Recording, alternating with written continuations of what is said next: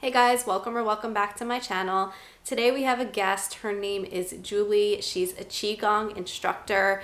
Qigong is similar to yoga in that it's a mindfully based movement practice. She's going to go into more detail on what the practice is all about and then she's going to take you through a sequence so you can try out the practice yourself.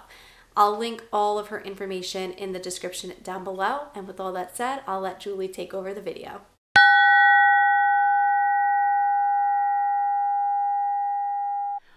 Hi, my name is Dr. Juli Kramer, and I am so excited to bring you information about another wonderful healing modality similar to yoga, ancient in its practice, looking at the internal organs and the ways in which we move all of our body, and also subtly a little bit different, and that is Qigong.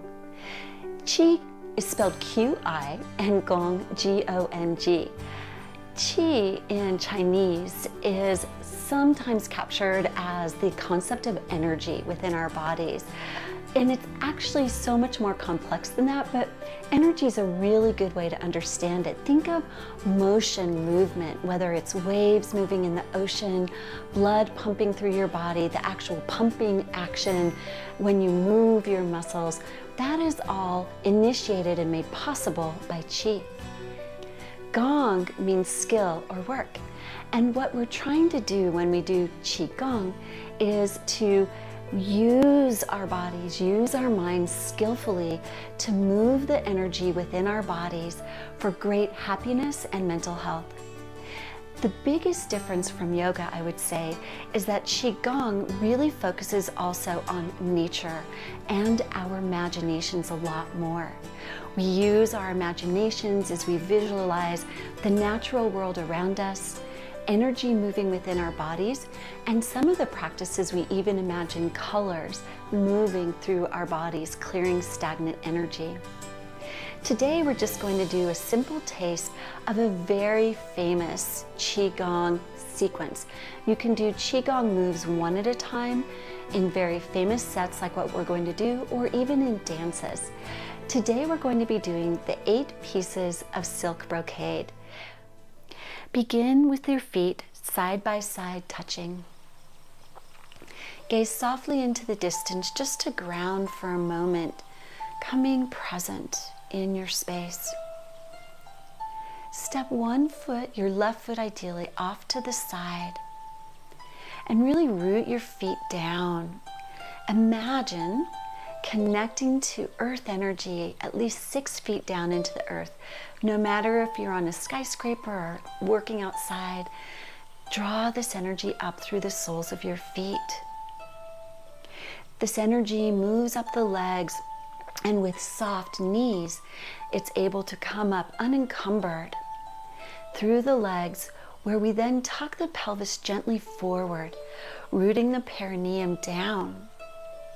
That energy can now move up to this area behind and below the navel called the lower dantian. From this strong rooting, we lengthen the spine. Drop the shoulders, tuck the chin slightly so now our spine is an open conduit of energy for heavenly chi, imagining stream of chi coming down through the heavens. Also moving through the body to this lower dantian.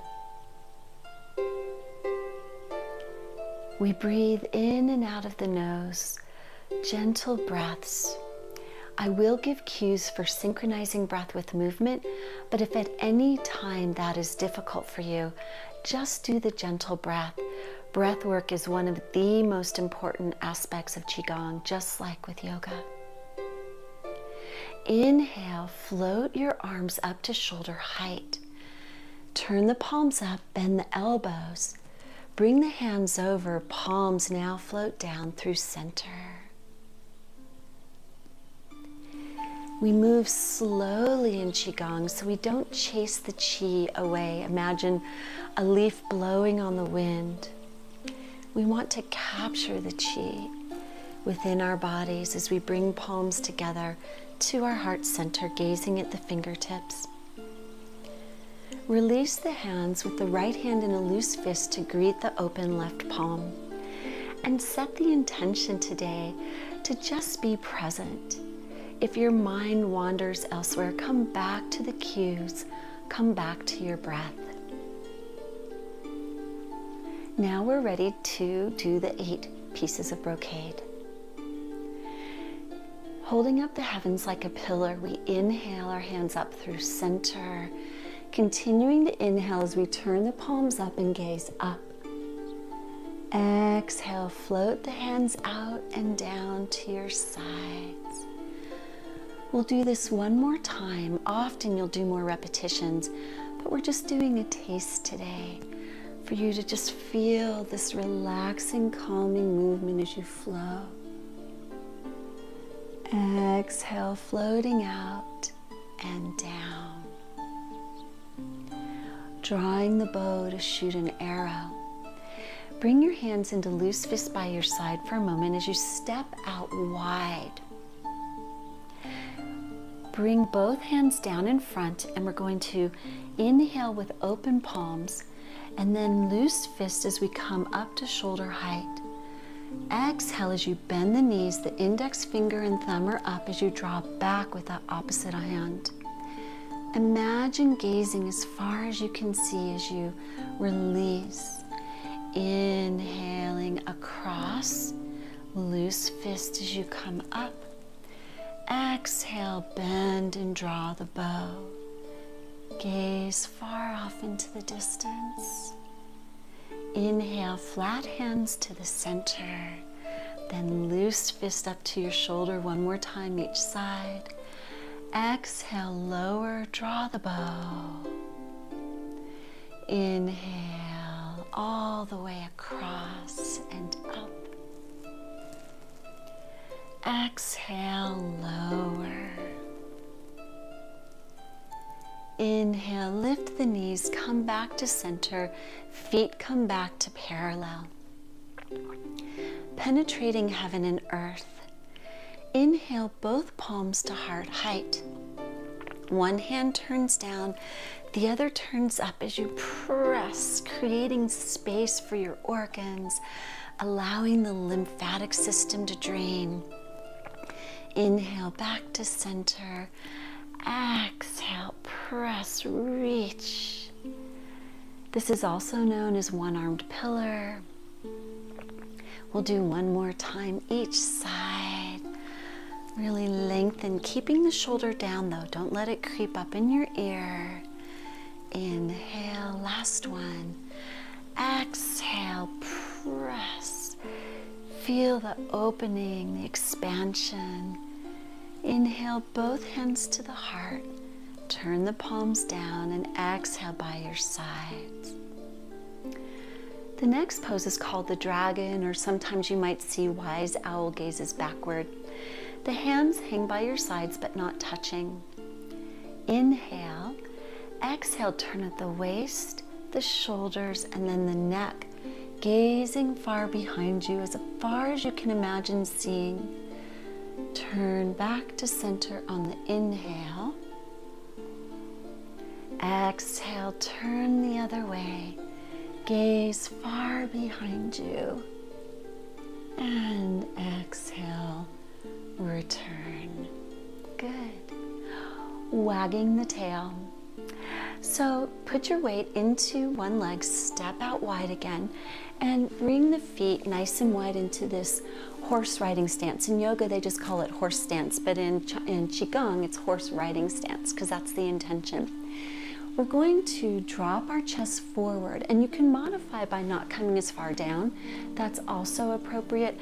We're really going to focus on clearing along the side of the body, clearing heart fire, which calms your emotions and gives you good sleep. So inhale, lift up, gaze up. Exhale, lower through center. Shift your hips to the other side as you lift on the inhale. Exhale, lower. We'll do one more time each side. Balancing the emotions is one of the best benefits of Qigong. You'll notice a sense of calm as you practice regularly, even in the face of some pretty tough challenges. So come back up, bring the feet to parallel yet again. Now shift your weight and step out wide to the other side for thrusting fist with angry eyes, just wide open eyes. So fists are um, in loose, they're loose by your side, but as we thrust forward, we bend the knees fully. Exhale, open your eyes wide, tighten your fists, tighten your forearms. Relax the eyes, relax the fist, come back in. Inhaling as you do so. So let's inhale Exhale, thrust, tight fists, tight forearms, eyes open wide. And then come back in. We'll do one more time each side. The wide open eyes release stagnant energy in your liver, which relates to anger, irritation, frustration. And when we relax the eyes, fresh chi flows in. So you really balance that emotion as well as the health of your liver. Good. We have two more. You're doing great. This next one is reaching back and folding forward. Bring your hands to your hips. Squeeze your shoulder blades back, open your chest. Inhale, lift up, and do a gentle light back bend. Don't compress your lower back. And then exhale, hinge forward, hang heavy, grabbing opposite elbows. Release your hands, brush your fingers over your feet, bring your hands to your hips and roll up. We'll do one more. Inhale, lift up and back. Exhale, hinge and fold with soft knees. Grab the opposite elbow. Brush your toes, hands to your hips, and gently roll up.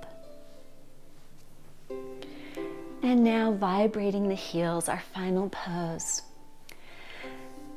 Let your hands hang heavy by your side, not touching, and lift way up, your heels way up.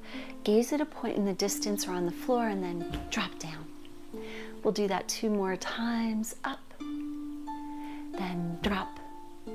And one more time, nice lift and drop sinking the chi. Inhale.